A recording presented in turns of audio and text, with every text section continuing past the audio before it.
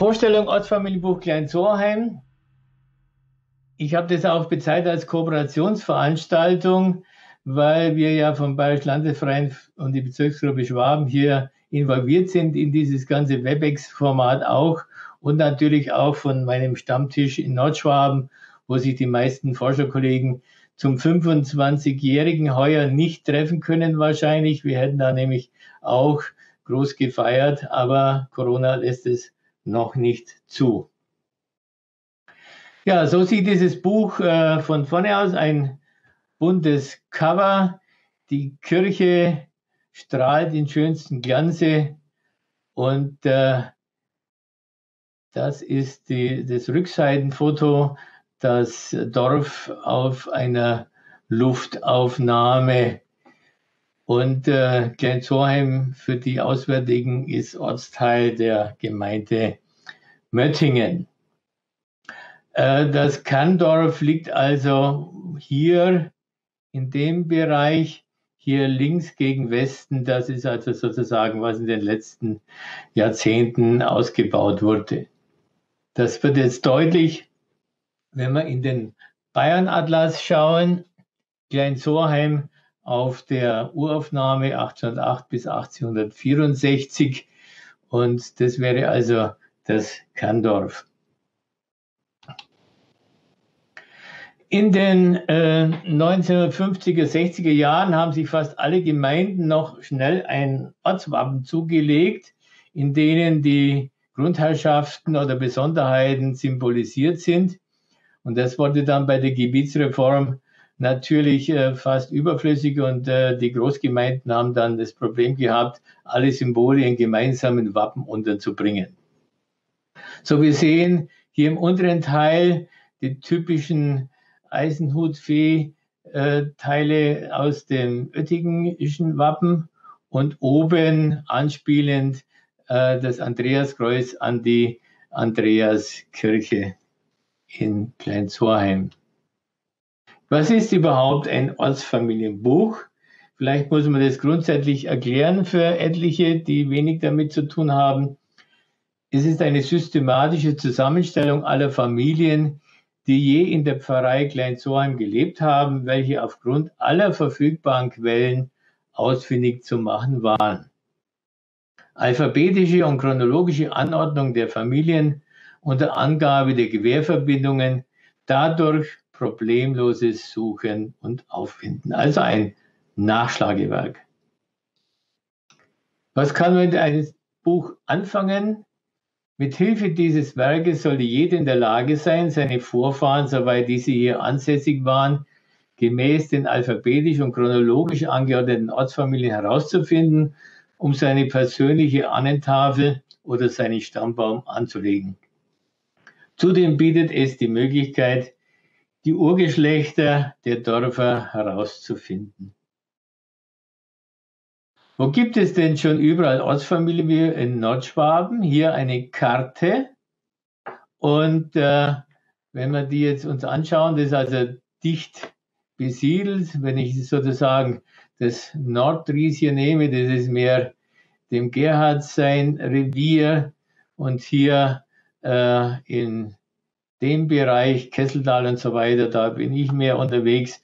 wir haben also ziemlich viele Autoren, die einzelne oder ein oder zwei Bücher gemacht haben. Klein Soheim ist jetzt nun das letzte, das dazugekommen ist. Und äh, es sind noch einige äh, unbearbeitete Flecken, wie Sie sehen, aber vieles ist in Arbeit.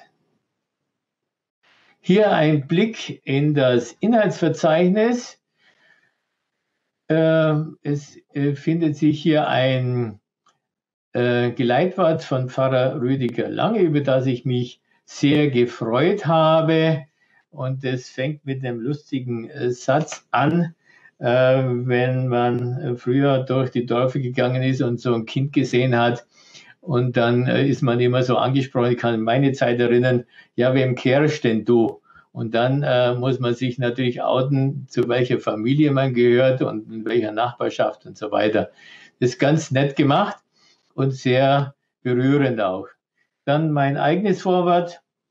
einige Anmerkungen zum Buch allgemein oder zu der Situation, Quellenangaben, allgemeine Erläuterungen, damit man mit dem Buch umgehen kann, dann etwas zur Pfarrgeschichte des Dorfes, Klein Soheim auf alten Karten, das heutige Klein Soheim in ein paar Bildern, bemerkenswerte Ereignisse, ein paar besondere Berufe, auch die Gefallenen, Gemissten und Heimkehrer der Kriege sind hier genannt. Ein allgemeiner Bilderbogen, ein paar Fotos, interessante aus der Vergangenheit. Und der Kern dieses Buches, sehen von Seite 40 bis Seite 340, also 300 Seiten, das sind die Ortsfamilien. Und dann im Nachgang noch einige auswärtige oder nicht zuordnbare Personen, die auf der Durchreise waren oder hier zufällig äh, verstorben sind. Dann eine Statistik, Namens- und Ortsregister und Impressum. So sieht es also im Allgemeinen aus. Die Hauptquelle sind die Kirchenbücher und die beginnen bereits 1622 und natürlich viele andere Archivalien. Und da möchte ich dem Gerhard Beck nochmal danken, der also alles Mögliche auf der Harburg ausfindig gemacht hat. Da geht es um Steuerbücher, Amtsrechnungen, Amtsprotokolle oder gar Leibeigenschaftsbücher. Und so konnten viele Familien auch vor Kirchenbuchbeginn oder wo Lücken bestanden, rekonstruiert werden. Auch äh, habe ich mich bemüht, viele Originalzitate ins Buch mit reinzubringen, damit man also auch einen gewissen wissenschaftlichen Anspruch haben, woher hat er denn diese Informationen alle. Interessant ist der Beginn des ersten Kirchenbuches. Hier findet sich der Eintrag des damaligen Pfarrers Konrad Wiedemann und ich bin immer ganz stolz, äh, dass er zu meinen eigenen Vorfahren gehört, weil dessen Handschrift ist mir sehr geläufig. Und er taucht auch in dem Kirchenbuch unter Ringingen und Mönstickingen auf. Und er hat in der Zeit des Dreißigjährigen Krieges hier in Personalunion viele Pfarreien notdürftig äh, versorgt. Und er schreibt hier, äh, im Jahre 1908, äh 1658 demnach bei langwierigen kontinuierenden Kriegswesen der gemeine Landsmann viel und offenmaligen von Haus und Hof weichen und fliehen und sich hin und her aller Orten elendiglich behelfen und aufhalten müssen. Dann in Hero die gewohnliche Kirchenaktas nicht in dem gehörigen Ort, bei dieser ordentliche Pfarr all hier zu kleiner Soheim mögen verrichtet werden. Auch deren Herrenpastoren dieser Ort beschehene Aufzeichnus machtig lazariert und zerschleift worden.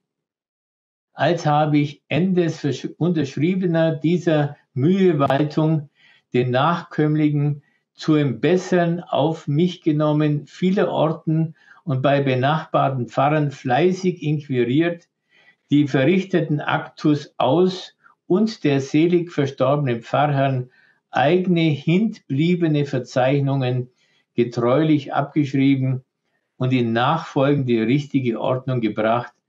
So geschehen anno Christi 1658 circa finem anne.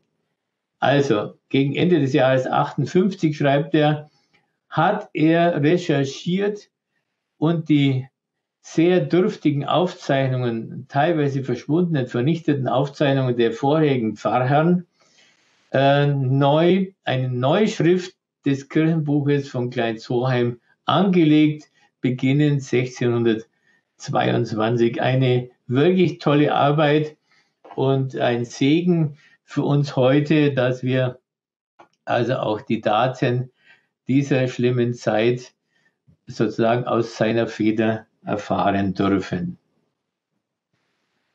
Und so sieht es also dann konkret aus, 1622 aus seine Handschrift. Er ist ja erst 1637 sozusagen mit der Pfarrstelle vertraut worden.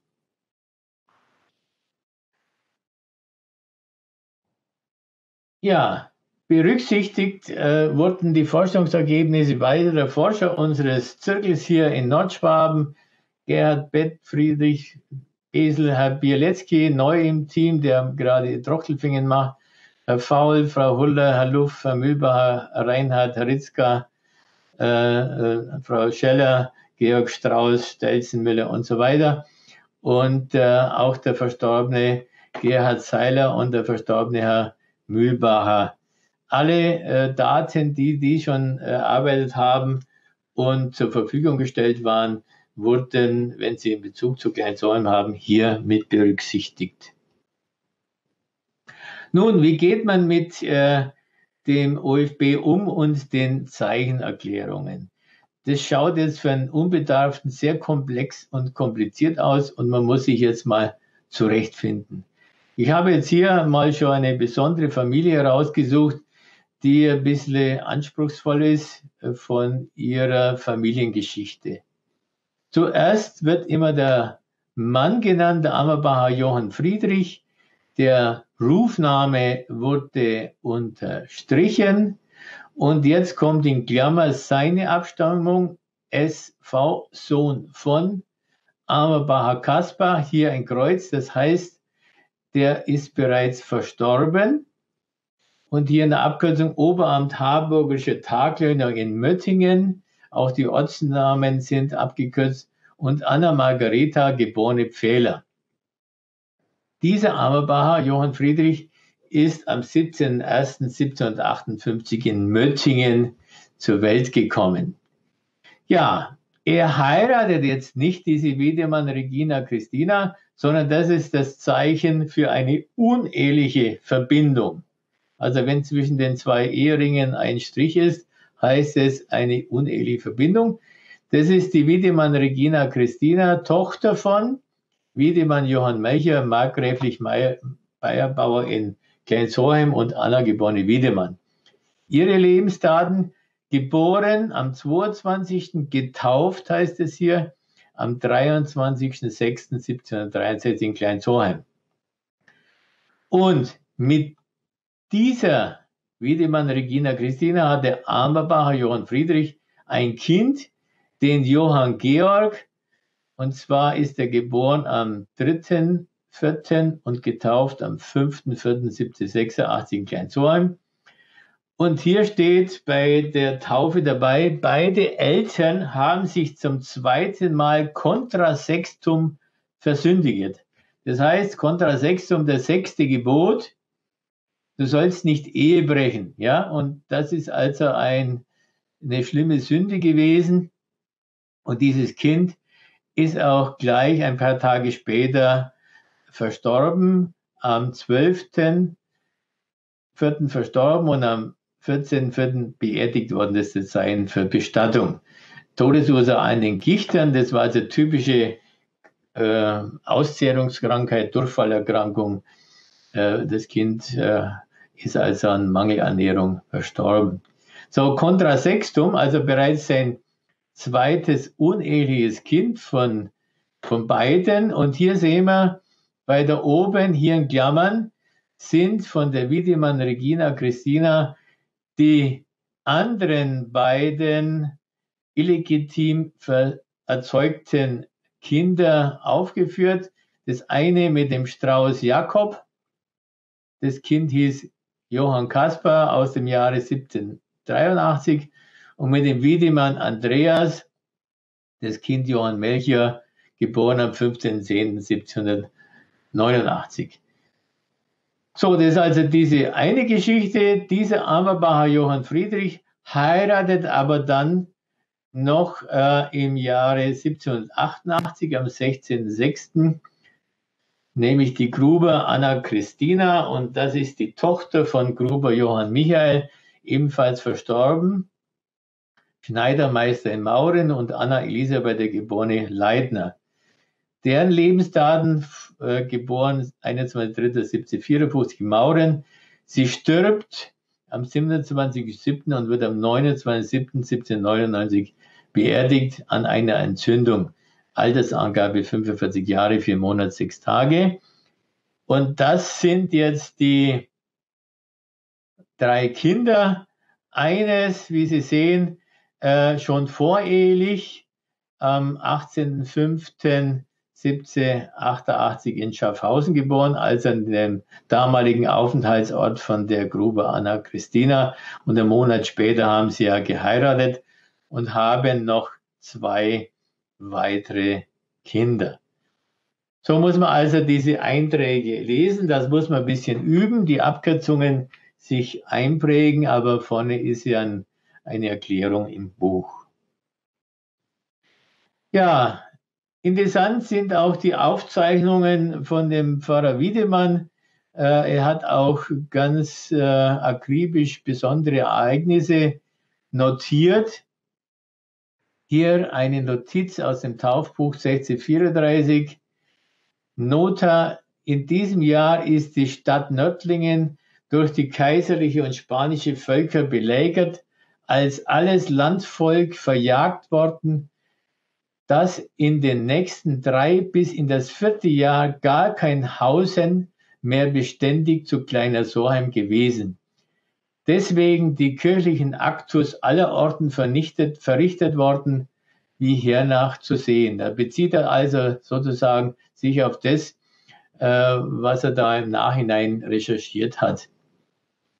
Ebenfalls eine Notiz von ihm, 1634, ist zwar Samuel Hoffmann von Onolzbach all hier zu Kleiner Soheim circa Festum Ascensionis Domini, also Himmelfahrt Christi, von der Pfarr Ederheim her zu einem Pfarrer ernannt worden, aber weilen wegen der großen Unsicherheit, Verderbung des Landes und grassierender Pest niemand bei Haus sein und bleiben mögen als habe ich keine einige Kindstau von ihm aufzeichnen haben können.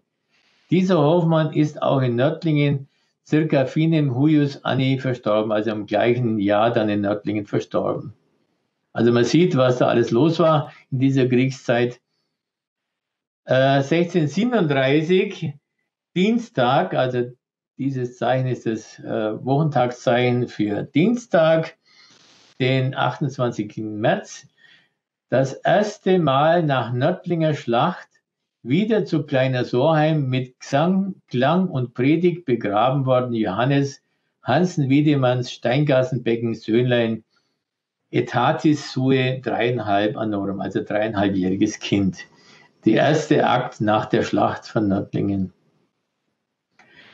1647 eine Eheeintrag äh, der erste Feria Secunda Pentecosta, 7. Juni, wurde im Angesicht der christlichen Kirchen zu Kleine Soheim dergleichen von der ersten Schlacht von Nördlingen in 13 Jahren nicht mehr geschehen, sondern dies die erste Hochzeit wieder war, kopuliert und eingesegnet.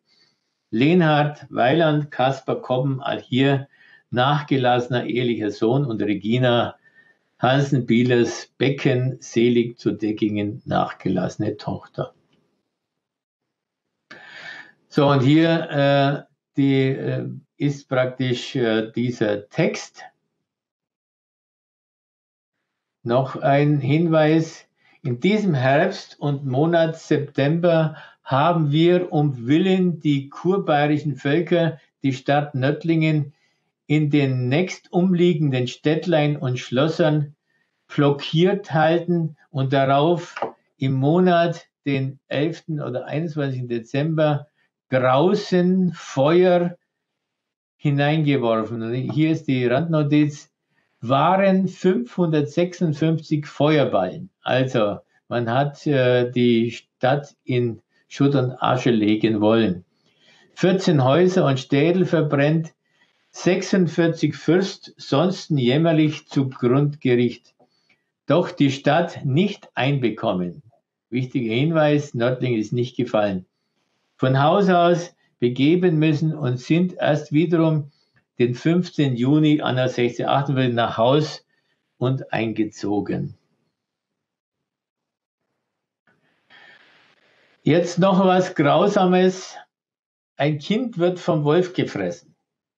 Sonntag, den 29. Juni, wird begraben Hans Stümpfl, ansonsten der Ungerhans genannt, wird allda Töchterlein Anna um zweieinhalb Jahre hinterbliebene Frutillen, also Überbleibsel des Körpers, welches Kind bei hellem Tag gegen Abend vor des Vaters Haus auf der Gassen, da es mit anderen Kindern gespielt, hinweggetragen, zerrissen und gefressen, dass nur das Ingeweid, ein Stück von dem Leberlein, ein Stück vom Milz und vier Beinlein etwa eines Fingers lang von denen zu Ross und zu Fuß nachfolgenden Leuten im Möttinger Feld auf einem morastischen Acker darinnen lange hohe Rohrgestanden gefunden worden. Die Flotillen seien nach empfangenen Kanzleibefehlen gebührend zur Erde bestattet worden und habe ich pro Consione tradiert. Und jetzt kommt jetzt sozusagen ein Bibeltext, den er verlesen hat. Ach Gott handle nicht mit uns nach unseren Sünden. Sehr grausame Dinge, die wir lesen können. Und äh, heute kaum vorstellbar, dass da die Kinder von den Wölfen auf der Gasse weggetragen worden sind und gefressen wurden. Ja, noch interessant, 1810 gab es ja bereits die Impfpflicht, also ganz aktuell, für die Pockenimpfung für die Kinder. 1806 oder wann das Befehl war. Und die Pfarrer waren angehalten, sozusagen das in den Kirchenbüchern zu verzeichnen und zu überprüfen. Und da schreibt er also, bis hierher reicht das Verzeichnis des und am 6. Mai 1810 über die Kinder vom 7. Juni 1798 bis 1. Juli 1807, um sich von den Geblatterten zu versichern, eingeben werden müssen. Die Geblatterten sind also die Geimpften. Dann noch eine Feuersbrunst 1823 legt zwei Drittel des Dorfes in Schutt und Asche. Der steht beim Sterbeintrag der Maria Margareta Eger. 1892, noch ein interessanter Eintrag, fast ganz lustig, wenn es nicht so traurig wäre. Am 31.01.1892 stirbt Georg Michael Eger. Da steht, der Mann hatte bei ansehnlicher Größe einen ganz abnormen Körperumfang und dementsprechendes Gewicht 338 Pfund, war dermalen jedenfalls die dickste und schwerste Person des Rieses. Es wurde deshalb zur Verbringung seiner Leiche auf den Gottesacker der Zieswinger Leichenwagen entlehnt. Also man musste hier den größeren Leichenwagen von Zieswingen ausleihen. Auch das ist jetzt tragisch. 1913, ein tragischer Unglücksfall. Das Bauernsöhnlein Johannes Herrle stirbt mit einem Jahr, drei Monaten und vier Tagen. Der Großvater zeigte dem Enkelkind eine Pistole. Ein Schuss ging los und die Kugel durchbohrte die Halsschlagader des Kindes. Also einem einjährigen Kind muss man nicht gerade eine Pistole zeigen. Also ist schon spannend. Äh, auch äh, Klein Sorheim hatte Zuwanderung von sogenannten Exulanten aus dem Ländle ob der Enns. Das waren also meist Glaubensflüchtlinge aus äh, Oberösterreich, die wegen einem Edikt, äh, dass sie entweder sich zum katholischen Glauben bekehren müssen oder dann das Land verlassen müssen, dann den Weg auch ins Ries, das damals infolge der Lies gefunden haben und sich hier ansässig gemacht haben. Aber zum Beispiel der Name Baumgartner gibt es ja heute sehr verbreitet. Da sind insgesamt drei Baumgartner-Familien zugewandert, die ich bisher noch nicht zusammenbringen konnte. Alle aus dem Ländle ob der Enns. Heumader ist auch heute noch ein bekannter Name. Und das sind also die äh, Gebrüder Heumader Paul und Heumader Michael, die hier in, zunächst mal in Klein-Sorheim auftreten. Oder auch der Schneider Wolf, der aus dem Ländle ob der Enz kommt. Ja, ich habe also versucht, äh, interessante Fotos aus der Bevölkerung zu bekommen, aber da ich nicht in äh, wohne oder auch wenig Leute kenne, war das sehr spärlich, aber einige interessante Fotos sind eingetroffen. Äh, auffallend hier in dem Schulbild sind diese hell gekleideten Mädchen, die haben sie hervorgehoben, das waren zwei Pfarrerstöchterlein. Äh, ich habe mich auch gewundert, warum der Burber da oben ihre äh, Bändelkappe, ihre Trottel auf die rechte Seite runterhängen, die waren ja noch gar nicht verehelicht oder ist es äh, negativ des Fotos äh, seitenverkehrt? Ich bin noch nicht dahinter gekommen. Auch ein interessantes Foto, äh, Erinnerung an die Kleinsäumer Dreiberg 1912. Da waren also viele Kinder dabei, die im Unterholz da Lärm gemacht haben, um das Wild aufzuscheuchen. Leider ohne Beschriftung auf das Schulfoto eine wichtige Aufgabe für die Leute in den Dörfern, all das Fotogut äh, zu sammeln und zu beschriften. Eine Generation später ist es schon meistens zu spät. Hier Fotos aus den 40er Jahren, äh, Konfirmanden und Konfirmandinnen oder Jugendkreis, Mädchenkreis. Hier haben wir die Namen dann bekommen. Äh, als ich äh, vor etlichen Jahren im Rahmen unseres Friedhofsprojektes des Bayerischen Landesvereins äh, die Friedhöfe reihum fotografiert habe, war ich auf dem Kleinzoheimer auch. Und da ist mir dieses wunderbare Grabdenkmal der Familie Bachmann aufgefallen. Mit den Personen habe ich damals noch nichts anfangen können. Jetzt im Rahmen des Erstellens des Ortsfamilienbuches gibt es dann natürlich einen Sinn. Und äh, wer die Familie ist, hier ruhen in Frieden Frau Anna-Maria Bachmann, geborene Müller, die Lebensdaten 1835 bis 84 und deren Ehegatte Johannes Bachmann, Fabrikbesitzer, da hier. Ich habe mich damals gefragt, der Fabrik, was kann denn da schon für eine Fabrik gewesen sein in Gleusore? Und dann noch die zweite Ehegattin ist hier mit beerdigt und dann natürlich auch noch äh, Verwandtschaft.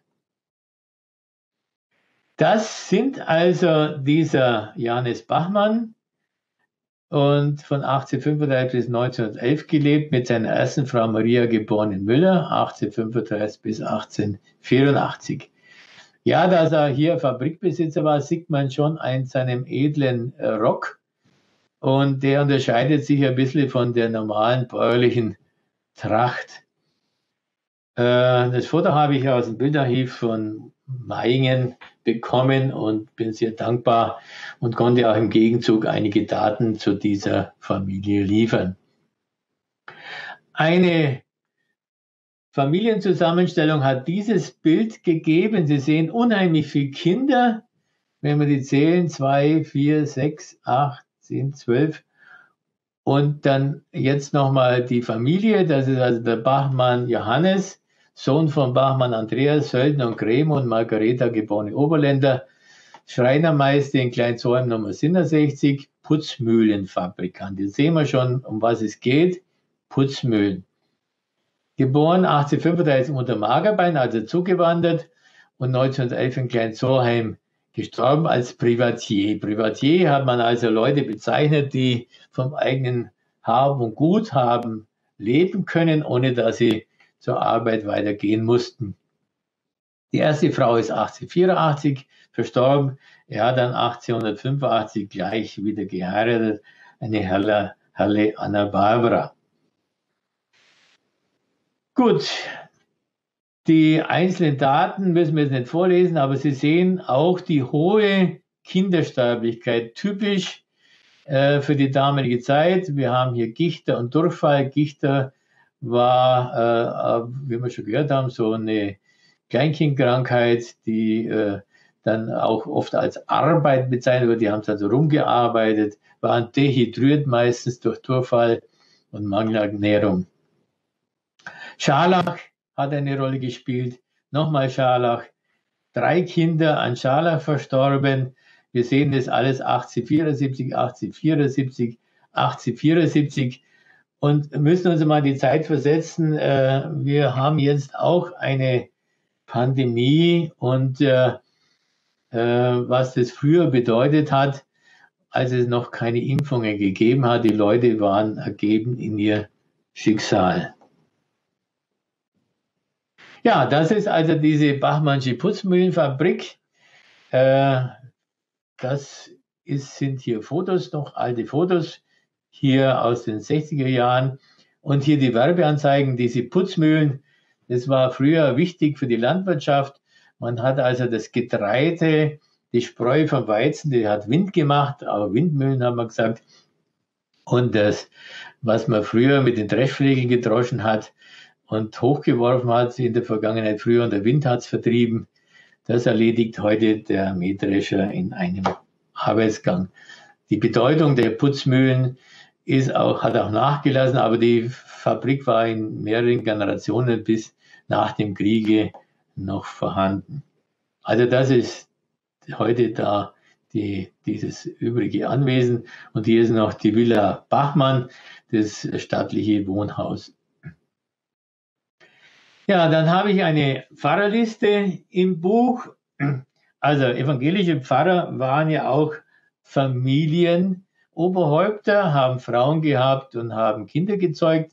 Und überall, wo ein Sternchen steht, diese Familien wurden, Pfarrersfamilien wurden im Buch auch abgebildet. Auch sehen wir hier bis in die Vergangenheit, äh, in die letzte Vergangenheit, Herr Lüdiger Lange hat äh, resigniert, also wie man das heute heißt, also nicht äh, frustriert aufgehört, sondern sich zur Ruhe gesetzt als Pfarrer äh, im letzten Herbst. Und die Stelle wird dann hoffentlich bald neu besetzt.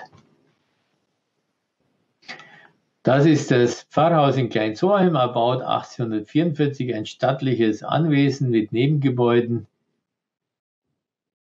und ich möchte noch eine Pfarrersfamilie hervorheben. Das ist der Pfarrer von Betzold.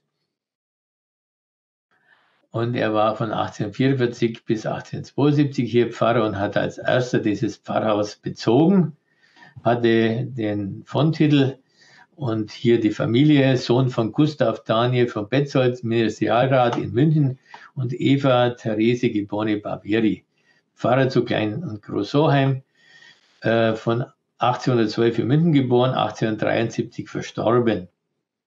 Geheiratet 1847 auch in München, die Faber Fanny, die stammt aus auch einer edlen Familie, Ministerial- und Oberkonsistorialrat in Ansbach.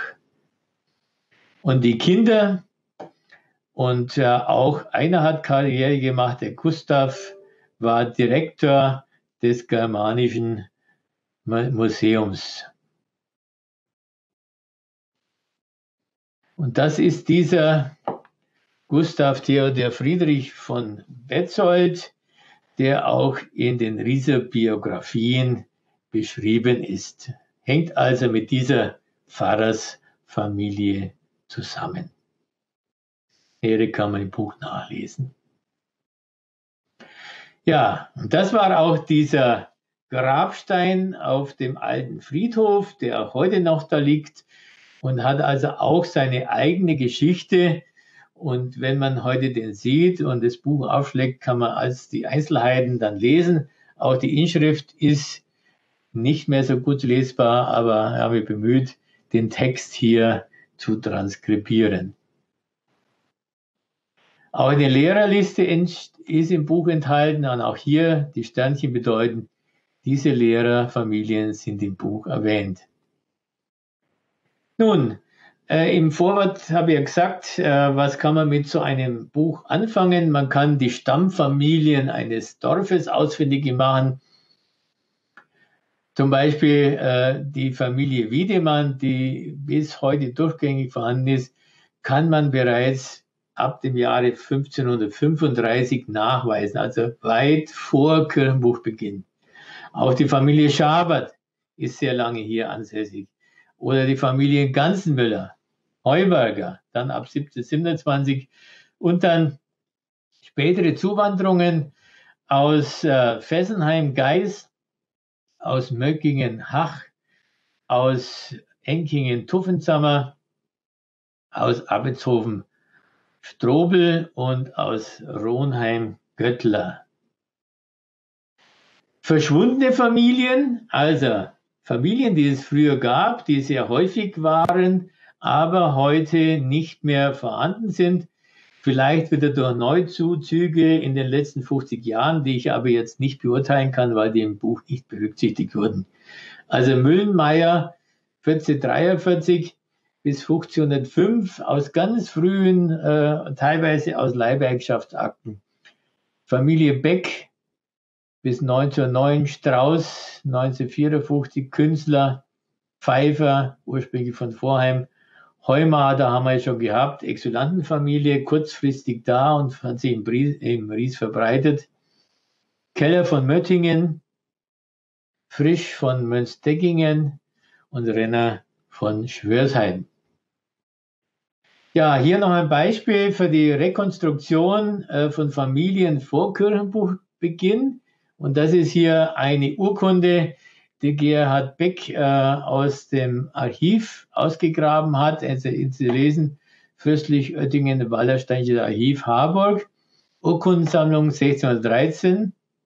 Und da steht, Kaspar Sauer, Witwer zu Kleinzoheim, verkauft an seine Tochter Mann Melchior Lindenbauer zu Möttingen und seine Frau Anna sein deckingisches Lehngut in Kleinzoheim zwischen Balthasar Meyer, gräflich, und Hans Mühlich, markgräflich, beider Söldenhäuser gelegen, aus dem 1. Februar 1613, eine Pergamenturkunde und so weiter, wer siegelt. Und was kann man da aus den paar Zeilen herauslesen? Nämlich, da gab es den Kaspar Sauer, er war Oettingischer Leibeigner, das haben wir aus einem anderen Urkunde, Amtsrechnung Amt Harburg.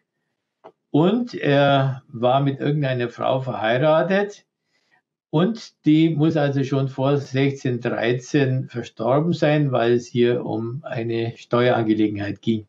Und da oben steht, der hatte also eine Tochter Anna, die vor 1613 in Möttingen geheiratet hat nämlich den Lindenbauer Melchior. Das ist also eine sehr rudimentäre Familie, aber immerhin aus solchen Textteilen kann man sowas rekonstruieren. Und das war also mein Ansinnen, hier möglichst viele Familien äh, im Nachhinein auch ohne Kirchenbuch zu rekonstruieren. Und durch die Querverbindungen mit anderen Dörfern haben wir doch da einiges geschafft an äh, Dokumentationen. Weiter hier noch, das sind diese Müllenmeier, von denen ich hier erzählt habe, vorhin ganz früh mit den Leihwerkschaftsurkunden. Leonhard Müllenmeiers Weib Elsbeth Wiedenmenny hat jetzt Jakoben rufen.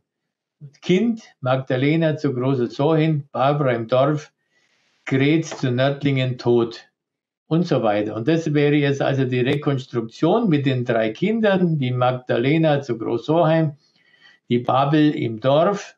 Und da haben wir aus anderen Informationen dann auch den Ehemann ausfindig gemacht. Und die Gret ist dann in Nördlingen und bereits um diese Zeit wieder verstorben. Hier noch eine Patchwork-Familie.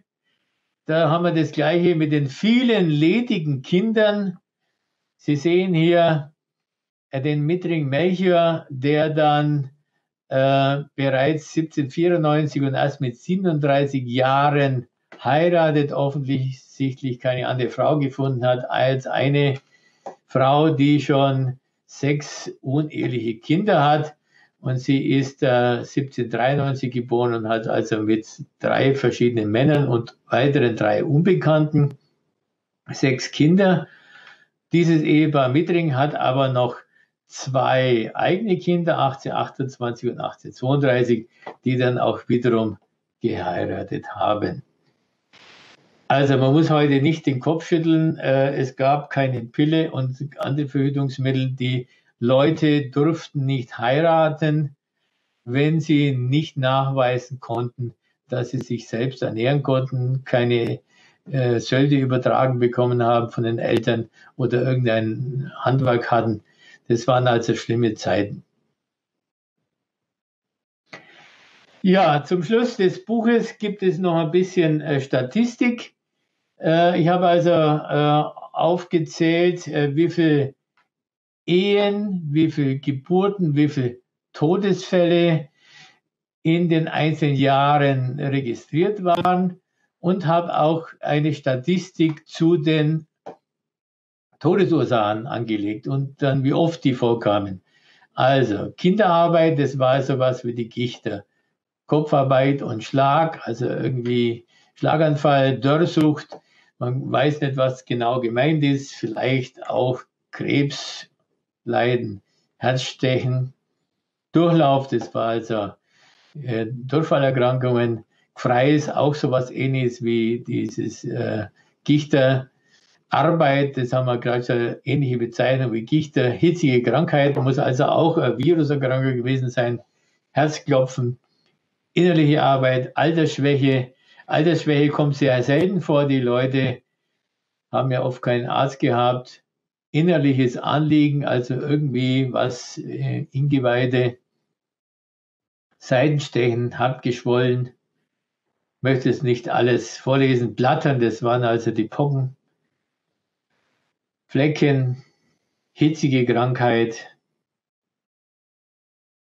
Ja, ich habe jetzt mal äh, sozusagen äh, auch durchgezählt, so im Groben, äh, 929 Ehen laut Kirchenbuchlaufzeit, circa 200 Familien durch Zuzug oder vor Kirchenbuchbeginn, 300 illegitime Verbindungen geschätzt, circa 4500 Taufen, äh, insgesamt während der ganzen Laufzeit macht einen Jahresschnitt von ca. 15.000 pro Jahr.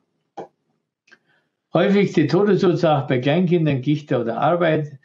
Gewisse Seuchenjahre gab es 1743 mit hitzigem Fieber, 1814 Fleckenfieber, 1874 Scharlachfieber, das haben wir ja schon gesehen bei der Familie Bachmann. Dann zur Bevölkerungsentwicklung habe ich ein bisschen äh, recherchiert und habe also die Zeit, die der Pfarrer Wiedemann rekonstruiert hat, war also eigentlich eine sehr blühende Zeit.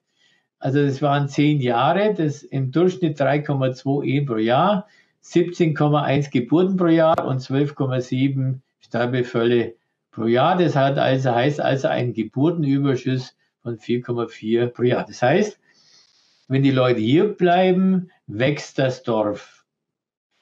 Dann kam ja der schreckliche 30-jährige Krieg und das Dorf hat sich über Jahrzehnte nicht erholen können.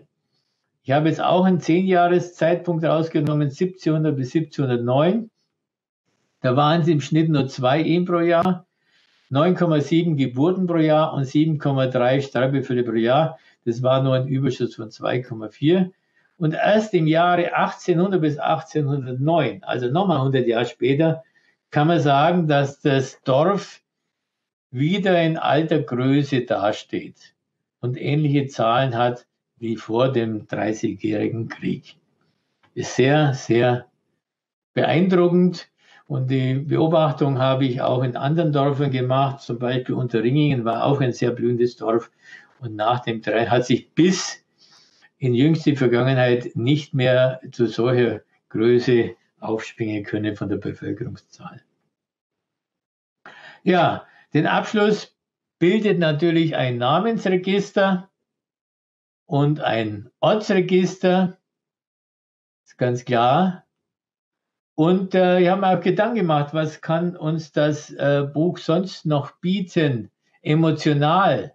Wir haben jetzt vieles äh, zur Kenntnis genommen, diese Krankheiten, diese Kriege und so weiter, was uns auch zum Nachdenken bringen könnte, wenn man so ein Ortsfamilienbuch anschafft, äh, anschaut. Sie stiftet, das OFB stiftet Identität durch Identifizierung. Urfrage des Menschen, woher komme ich? Sie dokumentieren die verwandtschaftlichen Beziehungen aller Dorfbewohner über Jahrhunderte hinweg. Sie fördern das Bewusstsein der Zusammengehörigkeit, helfen altes Brauchtum zu schätzen und zu bewahren, sind ein gutes Gegenmittel für Ortsteildenken, indem man zum Beispiel erkennt, dass der Urgroßvater aus dem anderen Ortsteil kommt. Macht Geschichte erlebbar anhand der Lebensläufe der Vorfahrengenerationen. Fördern das interkonfessionelle Miteinander. Hinterfragen kritisch die gute alte Zeit, Kindersterblichkeit, Armut, Seuchen, Kriegsfolgen. Lassen eine, eine mögliche Hinter Migrationshintergrund in der eigenen Familie erkennen. Glaubensflüchtlinge, Heimatvertriebene, Amerika-Auswanderungen. Vermitteln Respekt vor der Leistung der Vorfahrengenerationen, zum Beispiel erfahrbar durch all die Fotos der Großeltern bei der Arbeit mit Kuh und Pferd, führen zum Empfinden von Mitgefühl oder Bewunderung durch die Kenntnisnahme von außergewöhnlichen Vorkommnissen, Katastrophen, Unglücksfälle, besonders Kinderreichtum.